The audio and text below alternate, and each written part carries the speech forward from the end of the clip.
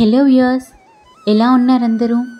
Welcome to our channel Soundarya Lahari ఈరోజు ఈ వీడియోలో నేను ఇంటి దగ్గర తులసి కోట దగ్గర మనము మూడు వందల అరవై ఐదు వత్తుల్ని కార్తీక పౌర్ణమి రోజు ఎలా వెలిగించాలి అనే విషయాల్ని ప్రతి ఒక్కటి కూడా నేను డీటెయిల్గా చెప్తున్నానండి. ఎందుకంటే మూడు వందల అరవై ఐదు వత్తులు వెలిగించాలి అంటే చాలామంది కూడా నార్మల్గా వెలిగించేస్తూ ఉంటారు.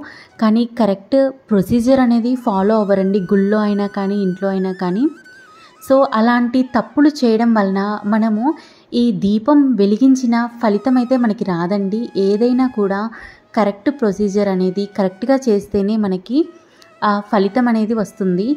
మూడు వందల అరవై ఐదు వత్తులు దేవుడి ముందు ఉంచేసి కొంతమంది చాలామంది వెలిగిస్తూ ఉంటారు. కానీ ముందుగా మనము ఏమేం చేయాలి తర్వాత ఏం చేయాలి అనేవన్నీ కూడా తెలుసుకొని తర్వాత మనం పూజ కనుక చేస్తే మనకి ఆ పూజ ఫలితం అనేది మనకి లభిస్తుందండి. అయితే వీడియో ఎక్కడ కూడా స్కిప్ చేయకుండా పూర్తిగా చూడండి. మధ్యలో మీకు ఇంకా ఏమైనా డౌట్స్ అనేవి ఉంటే నన్ను కామెంట్ సెక్షన్లో అడగండి. నేను తప్పకుండా రిప్లై అనేది ఇస్తాను. ఈ కార్తీక పౌర్ణమి రోజు మనము మూడు వందల అరవై ఐదు వత్తుల దీపాన్ని మనం గుడిలో కానీ ఇంటి దగ్గర కానీ వెలిగించుకోవచ్చండి. అయితే ఎక్కువగా గుడిలో వెలిగిస్తే చాలా పుణ్యం. ఒకవేళ గుడికి వెళ్ళడం వీలు కానట్లయితే మనం ఇంట్లో పూజ గదిలో కానీ లేదు అనుకుంటే తులసికోట దగ్గరైనా కానీ ఈ మూడు వందల అరవై ఐదు వత్తుల దీపాన్ని మనం వెలిగించుకోవచ్చండి. అయితే గుడిలో కానీ ఇంట్లో కానీ మనము ఈ మూడు వందల అరవై ఐదు వత్తుల దీపాన్ని వెలిగించే ముందు మనము నిత్య దీపారాధన ఇంట్లో రోజువారీ ఎలా చేస్తున్నామో అలాగే చేసుకోవాలండి. నిత్య దీపారాధన అయిపోయిన తర్వాత మనము తులసికోట వద్ద కానీ పూజ రూమ్లో కానీ ఈ మూడు వందల అరవై ఐదు వత్తుల దీపారాధన చేసుకోవాలి. అయితే నాది పూజ గది మా ఇంట్లో చిన్నగా ఉంటుంది కాబట్టి నేను తులసి కోట దగ్గరే నేను పాడ్యమి దీపాలను కూడా వదులుతూ ఉంటాను కాబట్టి నేను తులసి కోట దగ్గరే ఈ మూడు వందల అరవై ఐదు వత్తుల దీపాలని కూడా ఎలా పెట్టుకోవాలో చూపిస్తున్నానండి. అయితే ఈ కార్తీక మాసంలో మనము ఉదయము సాయంత్రము కూడా తులసి కోట దగ్గర అయితే దీపారాధన చేసుకోవాలండి. అది చాలా మంచిది ఇంటికి. ముందుగా తులసి కోట దగ్గర పద్మం ముగ్గు అనేది వేసి మనము దీపారాధన చేసుకొని దీపము ధూపము నైవేద్యము ఆ తులసమ్మకి సమర్పించాలండి. రోజువారీ మీరు తులసి కోట దగ్గర ప్రతిరోజు ఎలా చేసుకుంటున్నారో అలాగే చేసుకోవచ్చండి. తరువాత మనము మూడు వందల అరవై ఐదు వత్తులు ఎలా వెలిగించాలి అనేది చెప్తానండి. తులసి కోట దగ్గరే మీరు శివపార్వతుల కుటుంబం ఉన్న ఫోటోని కూడా పెట్టుకొని కూడా పూజించవచ్చండి లేదు అనుకుంటే శివపార్వతుల ఫోటో లేకుండా కూడా పూజించవచ్చు. అయితే ఈ కార్తీక పౌర్ణమి రోజు మనము శివయ్య దగ్గర లింగాష్టకము బిల్వాష్టకము చదువుకుంటే చాలా మంచిది. అలాగే ఆ శివయ్య ముందే మనము మూడు వందల అరవై ఐదు వత్తుల దీపాన్ని వెలిగించుకుంటున్నాము అనే తృప్తి కూడా మనకి ఉంటుంది కాబట్టి నేను ఇక్కడ పూజ చేసే ప్లేస్లో శివయ్యని కూడా నేను శివ కుటుంబం ఉన్న ఫోటోని కూడా పూజలో పెట్టుకుంటున్నానండి. అయితే ఎక్కడైతే మనము ఈ మూడు వందల అరవై ఐదు వత్తుల దీపాన్ని వెలిగించుకుందాం అని అనుకుంటున్నామో ఆ ప్లేస్లో అది గుళ్ళో కానీ ఇంట్లో కానీ పూజ గదిలో కానీ తులసికోట దగ్గర కానీ ఎక్కడైనా కానీ ఇలా ముందుగా మనము నీటితో ఆ ప్రదేశాన్ని శుభ్రం చేసుకోవాలండి. నీటితో శుభ్రం చేసుకున్న తరువాత దాని మీద ఇలా కొద్దిగా పసుపుతో ఖచ్చితంగా పసుపుతో కానీ లేదు అనుకుంటే గంగా జలంతో కానీ అలికి ఆ తర్వాత దానిపైన అష్టదళ పద్మం ముగ్గు అనేది వేసుకోవాలండి. ఖచ్చితంగా పద్మం ముగ్గు అయితే వేసుకోవాలండి. ఇంకా వేరే రకాల ముగ్గులు అయితే వేసుకోకూడదు. అసలు ఈ మూడు వందల అరవై ఐదు వత్తులు వెలిగించేది మనము సంవత్సరం మొత్తంలో. ఒకవేళ మనము ఏదైనా రో కొన్ని రోజులు మిస్ చేసినా ఆడవాళ్ళకైతే ఆటంకాలు ఉండి కానీ మగవారికి ఏదైనా పని ఉండి కానీ ఏ ఒక్కరోజైనా కానీ లేదంటే కొన్ని రోజులు మిస్ చేసినా కానీ లేదు అనుకుంటే ఈ మూడు వందల అరవై ఐదు రోజులలో ఏ ఒక్క రోజైనా కానీ మనము మన పూజలో కానీ ఇంకే విధంగా అయినా కానీ తప్పు చేసి ఉంటే ఆ తప్పులను పరిహరించుకోవడం కోసం ఈరోజు మనము ఈ వత్తుల్ని వెలిగించుకుంటున్నాం. కాబట్టి ఈ మూడు వందల అరవై ఐదు రోజుల్లో మనం ప్రతిరోజు ఇలా పద్మం ముగ్గు మీద మనం దీపం పెట్టకపోయినా కూడా ఈ ఒక్క రోజు పెట్టినా కూడా మూడు వందల అరవై ఐదు రోజులు మనము ఇలాగే దీపం పెట్టిన ఫలితం అనేది మనకి లభిస్తుంది. ఇలా అష్టదళం ప అష్టదళ పద్మం ముగ్గు వేసుకున్న తర్వాత దానిపైన ఒక మూడు మా ఇంట్లో ముగ్గురం ఉన్నాం కాబట్టి నేను మూడు ప్రమిదలు అనేది పెట్టుకుంటున్నానండి. కింద తమలపాకులైనా పెట్టుకోవచ్చు. లేదు అనుకుంటే తమలపాకులు లేనట్లయితే రెండు రెండు కుందులనైనా కానీ పెట్టుకోవచ్చు. ఒకటే కుందినైతే పెట్టుకోకూడదండి. అస్సలు అది పెట్టుకోకూడదు. ఖచ్చితంగా అది ఉసిరి దీపమైనా పిండి దీపమైనా మూడు వందల అరవై ఐదు ఒత్తుల దీపమైనా ఇంకా ఏదైనా సరే మనం ఇలా దీపం వెలిగించేటప్పుడు ఖ- రెండు ప్రమిదల్లో వెలిగించడం మంచిదండి. రెండు ప్రమిదలు లేనట్లయితే ఇలా ఒకటి ఆకులో పెట్ ఆకులో ఇంకొక ప్రమిదను ఉంచి అలా అయినా కూడా పెట్టుకోవచ్చు. అయితే ఈ మూడు వందల అరవై ఐదు వత్తులు మనం వెలిగించేటప్పుడు సరిగ్గా వెలగవండి చాలా వరకు. ముందుగానే మనము ఈ వత్తుల్ని మూడు వందల అరవై ఐదు వత్తులు షాప్లో అయినా కొనుక్కోవచ్చు. లేదు అనుకుంటే మనం ఇంట్లోనే వత్తుల్ని ప్రిపేర్ చేసుకోవచ్చండి. ఎందుకు అంటే మనము షాప్లో కొన్న వత్తులు ఒక్కొక్కసారి మూడు వందల అరవై ఐదు ఉండవండి కౌంటు. అయితే మీరు ఖచ్చితంగా ఒకసారి చెక్ చేసుకొని అది షాప్లో కొన్నవైనా సరే ఒకసారి చెక్ చేసుకొని మూడు వందల అరవై ఐదు ఉన్నాయా లేదా అని చూసుకొని మీరు వెలిగించుకుంటే మంచిదండి. అయితే ముందుగానే మనము ఈ వత్తుల్ని ఇలా ఆవు నేతిలో ఈరోజు ఖచ్చితంగా మనము ఆవు నేతితోనే వెలిగించాలండి. కుదరకపోతే అప్పుడు నువ్వుల నూనెతో ఉపయోగించుకోవచ్చు నువ్వుల నూనెను కూడా. అయితే ఇలా ఆవు నేతితో వీటిని బాగా నానపెట్టుకుంటే ఉదయాన్నే నానపెట్టేసుకుంటే మనము సాయంత్రం పూజకి ఉపయోగించుకోవచ్చు. చక్కగా నాని అప్పుడు దీపము చాలాసేపు వెలుగుతూ ఉంటుంది. మీరు చూస్తూ ఉంటారు కొంతమంది గుళ్ళల్లో వెలిగించిన దీపం కొంచెం పైన కొంచెం కాలిపోయి కింద అంతా కూడా వత్తి అలా మిగిలిపోతూ ఉంటుందన్నమాట. అప్పుడు మనకి ఆ ఫలితం ఎలా ఉంటుందండి? మనం దీపం అంతా కూడా కాలితేనే చాలా మంచిది. కాబట్టి ఒకసారి ఇలా మనము ముందుగానే ఇలా ఆవు నేతిలో నానపెట్టేసుకొని ఉంటే అప్పుడు మనకి దీపం మంచిగా వెలుగుతుంది. అలాగే నేను శివయ్యకి ఎంతో ఇష్టమైన పిండి ప్రమిదల్లో కూడా ఈ కార్తీక పౌర్ణమి రోజు దీపాలను వెలిగించుకుందాం అనుకుంటున్నానండి. కాబట్టి పిండి ప్రమిదలను కూడా నేను ఇక్కడ సిద్ధం చేసుకుంటున్నాను. అయితే పిండి ప్రమిదలను ఎలా ప్రిపేర్ చేసుకోవాలి అనేది నేను ఆల్రెడీ నా వీడియోస్లో చెప్పానండి. ఎవరైనా మిస్ అయినట్లయితే ఆ వీడియోని చూడండి. నేను డిస్క్రిప్షన్ బాక్స్లో లింక్ ఇస్తాను. లేదు అంటే ఒకసారి నన్ను కామెంట్ సెక్షన్లో అడగండి. నేను మళ్ళీ ఆ వీడియోని నా ఛానల్లో అప్లోడ్ అప్లోడ్ చేస్తాను. ఇలా పిండి ప్రమిదల్ని కూడా నేను మూడు పెట్టుకుందాం అనుకుంటున్నానండి. మా ఇంట్లో ముగ్గురం ఉన్నాం కాబట్టి. అలాగే ఉసిరి దీపాలని కూడా నేను ముందుగానే సిద్ధం చేసుకుంటున్నాను. అలాగే ఖచ్చితంగా ఈ కార్తీక పౌర్ణమి రోజు వెలిగించే దీ దీపాలు కుందుల్లో వెలిగిస్తాం కదండి మనం మట్టి ప్రమిదల్లో. ఆ మట్టి ప్రమిదలు ఖచ్చితంగా కొత్తవే అయ్యి ఉండాలండి. ఆల్రెడీ యూజ్ చేసిన వాటిని యూజ్ చేయకూడదు. ఇలా ముందుగానే ప్రమిదలన్నిటికీ కూడా గంధము ఇంకా కుంకుమతో నేను బొట్లు అనేవి పెట్టేసుకుంటున్నానండి. ఇలా చేసుకుంటే మనకి పూజ అనేది ఎటువంటి శ్రమ లేకుండా ఈజీగా ఆ హడావిడి లేకుండా చేసుకోవచ్చు అనమాట ఇలా దీపాలన్నీ కూడా మనకు వరుసగా మనం ఉసిరి దీపాలని కూడా పెట్టుకుంటున్నానండి ఈరోజు. ఇలా ఉసిరి దీపాలని అన్నిటినీ కూడా మనము ఇలా తులసి కోట ముందు ప్రిపేర్ చేసుకొని ఉండి తర్వాత మనము పూజ అనేది స్టార్ట్ చేసుకుంటే ఆ తర్వాత మనం పూజ మధ్యలో ఎక్కడికి లేవకుండా ఎందుకంటే ఒకసారి మనం పూజ దగ్గర కూర్చున్న తర్వాత ఊరికే అటు ఇటు లేవకూడదండి. ఖచ్చితంగా అక్కడే కూర్చొని పూజ అంతా కూడా కంప్లీట్ అయ్యేలాగా చూసుకోవాలి. ఇప్పుడు ఈ వత్తుల మీద కొద్దిగా మనము హారతి కర్పూరం ఇలా నలిచి వాటి మీద వేసినట్లయితే దీపం త్వరగా వెలుగుతుందనమాట అలాగే ఉసిరి దీపాల్లో అలాగే నేను పిండి ప్రమిదల్లో ఇలా పువ్వు వత్తుల్ని పెట్టుకుంటున్నాను.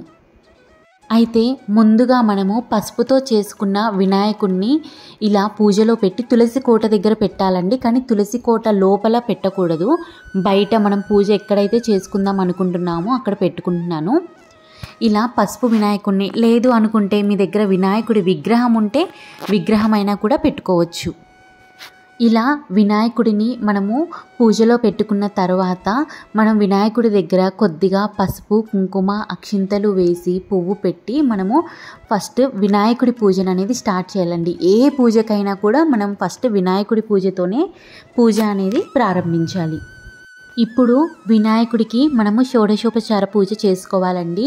లేదు కుదరినట్లయితే కనీసం పంచోపచార పూజ అయినా కూడా చేసుకోవాలండి. పంచోపచార పూజ అంటే దీపం ధూపం గంధం పుష్పం నైవేద్యం అనేవి సమర్పించాలి. నైవేద్యంగా ఒక బెల్లం ముక్కని కానీ లేదు అనుకుంటే అరటి పండ్లైనా కానీ ఇంకా ఏ పండ్లైనా కానీ పెట్టాలండి. అయితే షోడశోపచార పూజ చేసుకుంటేనే చాలా మంచిది. ఎందుకంటే ఈ మనం ఈ పూజ చేసేదే మూడు వందల అరవై ఐదు రోజుల్లో ఈ సంవత్సరం అంతా కూడా ఏమైనా పూజలో కరెక్ట్గా చేయలేకపోతే అదంతా కూడా ఈరోజు సరిదిద్దుకోవడానికి మనం చేసుకుంటున్నాం కాబట్టి వినాయకుడి పూజని కరెక్ట్గా చేసుకోండి. షోడశోపచార పూజ చేసుకోండి. అయితే ఇలా షోడశోపచార పూజ చేసుకున్న తర్వాత వినాయకుని అష్టోత్తరం మనం చదువుకోవాలండి. అక్షింతలతో కానీ పువ్వులతో కానీ వినాయకుని అష్టోత్తర శతనామావళి చదువుకోవాలి. ఒకవేళ అష్టోత్తర శతనామాలు చదువుకునే టైం లేక కానీ లేదు అనుకుంటే కుదరకపోయినా రాకపోయినా కానీ కనీసము ఓం గం గణపతయే నమ అని నూట ఎనిమిది సార్లు కానీ లేదు అనుకుంటే కనీసం పదకొండు సార్లు అయినా కానీ చదువుకోవాలండి. తర్వాత మనము స్వామికి క్షమా క్షమా ప్రార్థన అనేది చేసుకొని అంటే క్షమా ప్రార్థన అంటే కొద్దిగా ఒక పువ్వు కొద్దిగా అక్షింతలు తీసుకొని నా పూజలో ఏమైనా తెలిసి తెలియక తప్పు చేస్తే క్షమించు తండ్రి అని స్వామిని మనము క్షమించమని కోరుకోవాలండి. తర్వాత మనం సంకల్పం అనేది చెప్పుకోవాలి. తర్వాత స్వామివారికి హారతి కర్పూరం అనేది చూపించి తర్వాత మనము స్వామివారిని కదపాలండి. కదిపిన తర్వాత ఇప్పుడు మనము శివయ్య దగ్గర పూజ అనేది చేసుకోవాలి. ఇది కావాలి అనుకుంటే స్కిప్ చేసుకోవచ్చు అండి ప్రాబ్లం లేదు. ఎలాగో మనము పూజ గదిలో నిత్య దీపారాధన చేసుకొని పూజ చేసుకుంటాం కాబట్టి మళ్ళీ ఇక్కడ సపరేట్గా చేసుకోక్కర్లేదు. కానీ నేను ఇక్కడ అసలు పూజ గదిలో కూడా ఎలా చేసుకోవాలి అనేది చెప్పడానికి నేను చూపిస్తున్నానండి. ఇలా శివయ్య ముందు మనము నూట ఎనిమిది బిల్వపత్రాలతో మనము ప్రార్థన అనేది చేసుకోవాలండి. అయితే నా దగ్గర నూట ఎనిమిది బిల్వపత్రాలు మనకి దొరకవు కదండి. అందరికీ అవైలబుల్గా ఉండవు కదా సిటీలో ఉన్న వాళ్ళకి. కాబట్టి నా దగ్గర ఉన్న ఒక వెండి బిల్వపత్రం ఉందండి. అది తీసుకొని ఇలా తమలపాకు మీద పెట్టుకొని నేను లింగాష్టకం అనేది చదువుకుంటున్నాను. ఇలా లింగాష్టకము బిల్వాష్టకము ఇలా ఇవన్నీ కూడా అలాగే శివ అష్టోత్తర శతనామాలు ఇవన్నీ అన్నీ మనం పూలతో కానీ అక్షింతలతో కానీ చదువుకుంటే చాలా మంచిది. స్వామివారికి కూడా మనము శివయ్యకి కూడా పంచోపచార పూజ కానీ లేదు అనుకుంటే షోడశోపచార పూజ అయినా కానీ చేయాలండి. తర్వాత మనం ఇలా పూజ చేసుకున్న తర్వాత దీపాలు అనేవి వెలిగించుకోవాలండి. ఏకవత్తి హారతితోనే వెలిగించుకోవాలండి. లేదు అనుకుంటే కనీసం అగరవత్తితో అయినా కానీ వెలిగించుకోవాలి కానీ అగ్గిపెట్టెతో వెలిగించుకోకూడదు. ఇలా ముందుగా నేను పిండి దీపాలను వెలిగించుకున్నాను. ఇప్పుడు ఇక్కడ మనం పెట్టుకున్న మూడు వందల అరవై ఐదు వత్తుల దీపాలను వెలిగించుకోవాలండి. అయితే ఎవరి దీపాన్ని వాళ్ళే వెలిగించుకుంటే చాలా మంచిదండి. ఎందుకంటే మనం ప్రతిరోజు కూడా ఇంట్లో ఎవరమో ఒక్కలమే పూజ చేస్తాం కాబట్టి అన్ ఇంట్లో ఉన్న అందరం చేయం కాబట్టి ఆ ఫలితం అనేది మనకి రావాలి అనుకుంటే ఎవరి దీపం వాళ్ళే వెలిగించుకోవాలండి. ఒకవేళ ఈరోజు కూడా కుదిరినట్లయితే ఇంట్లో ఎవరైనా కానీ ఒక్కరు అందరి పేర్లు చెప్పుకుంటూ మనము ఈ దీపాన్ని అనేది వెలిగించుకోవచ్చు. అయితే నేను ఇక్కడ మా ఇంట్లో ముగ్గురం ఉన్నాం కాబట్టి మూడు మూడు వందల అరవై ఐదు వత్తుల దీపాన్ని వెలిగిస్తున్నానండి. అలా ఇంట్లో ఎంతమంది ఉంటే వాళ్ళందరి పేర్లు చెప్పుకుంటూ మనము అన్ని దీ అన్ని మూడు వందల అరవై ఐదు వత్తులు వెలిగించుకోవాలండి. ఇలా ఈ కార్తీక మాసంలో ఉసిరి దీపం వెలిగించుకుంటే చాలా మంచిది. అలాగే పిండి వత్తులతో ఇలా పిండి దీపాలని వెలిగించుకున్నా కూడా ఎంతో మంచిదండి.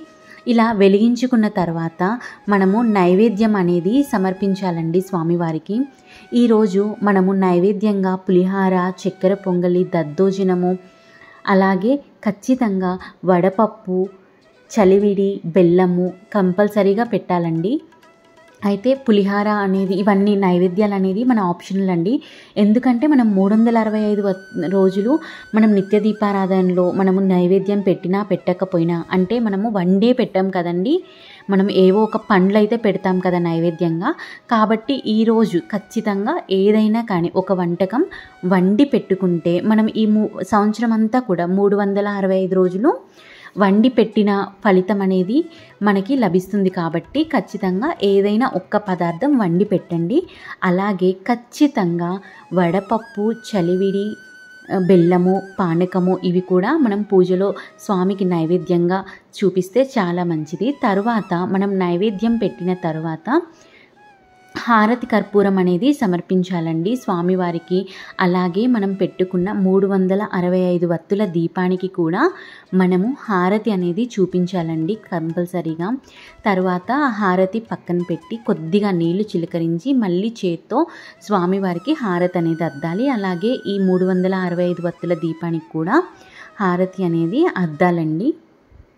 ఇలా హారతి అనేది ఇచ్చిన తర్వాత మనము ఈ మూడు పూజ అయితే అయిపోతుందండి. కానీ ఈ మూడు వందల అరవై ఐదు వత్తుల దీపాన్ని అలా వదిలేయకూడదండి.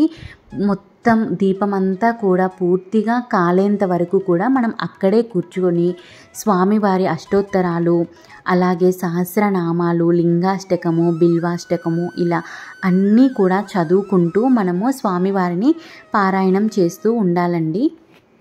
తరువాత ఇలా మనము గుడిలో అయినా కానీ ఇలా దీపాలను పెట్టేసి వెళ్ళిపోతూ ఉంటాము. మనం ఇలా వినాయకుణ్ణి అక్కడ నైవేద్యాన్ని ఇలా ఈ భక్తుల్ని అన్నిటినీ కూడా ఎవరో ఒకళ్ళు తగలడమో లేకపోతే వాళ్ళకి ఇబ్బందిగా ఉండడమో లేకపోతే నెక్స్ట్ వాళ్ళు పూజ చేసుకుందాము అని అనుకొని మనం ఇలా వెలిగించిన దీపాన్ని పక్కకి జరిపేసి వాళ్ళక్కడ వెలిగించుకోవడము తర్వాత దీపం కొండెక్కిన తర్వాత ఎవరో ఒకళ్ళు అది చీపిరితో ఊడ్చేయడము ఇలా చేస్తూ ఉంటారండి. అది చాలా మహా పాపం కింద లెక్కండి.